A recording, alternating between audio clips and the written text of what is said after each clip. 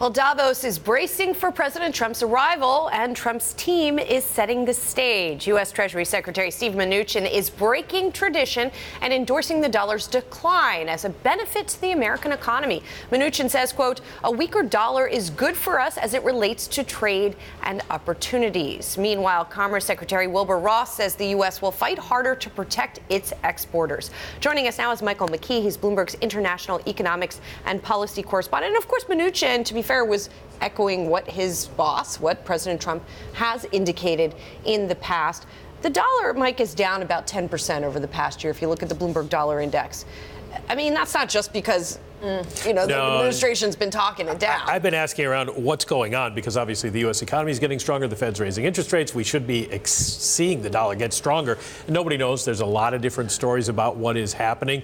But the rule is for Treasury secretaries, uh, it's very similar to if somebody asks you, does this dress make me look fat? Even if it does, you don't say it. But why? And so you don't talk about that? the because currency traders tend to take what you say and Literally. build on it and overreact. And when the dollar is moving in a direction and it's moving lower lately, it just gives it additional momentum, which is why Treasury secretaries have always sort of declined to talk about the dollar, except for the old formulation about a strong dollar is in the U.S. national interest without ever saying what a strong dollar is. Mm. Okay, fair. But is Mnuchin right? A weaker U.S. dollar is better sure. for trade and opportunity. What are the risks in him saying that, though? What are the risks for the dollar actually to be weaker when it comes to the U.S. economy? Well, you go back to uh, in the 1990s, uh, the Japanese yen was very weak, and the Japanese, of course, were the trading partner we all feared at that time. And the U.S. trade deficit was uh, getting deeper and deeper because the yen was so weak and they could sell their products more cheaply. And so we saw uh, Lloyd Bentsen come out and say, you know, we need a stronger yen. And it got so strong that it hurt the U.S. Uh, economy. And uh, Bob Rubin had to come out and say a strong dollar is in the interest of the United States. And they don't want to repeat that. They don't want to cause the wide, wide swings back and forth. They'd like to keep currencies on a stable level. Uh, I think we have a chart of what you're talking about. Okay. I think. This I think so. Yeah. Yes.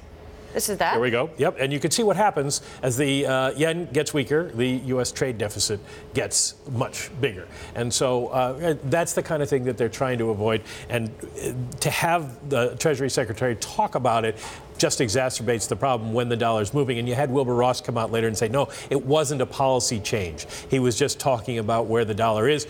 And from an economic point of view, as you say, he's right, but not helpful to have mm. the secretary talking about it. Do you think it's part of uh, the White House policy to intentionally jawbone the dollar lower, or was he just simply answering a question and answering it honestly? It sounds like when you read his comments that he was answering the question and answering it honestly without thinking about the effects and the reason Treasury secretaries don't say things like that. Mm-hmm when you try to manipulate your currency to affect the trade deficit, you can cause the kind of problems that we saw uh, in 1993. And so, uh, probably not trying to use the currency. They would use tariffs. They would use uh, other things to try to change the trade relationship with other countries. I don't think tariffs, I don't think they're yeah. going to manipulate the currency. And if they did, that would really make the rest of the world mad.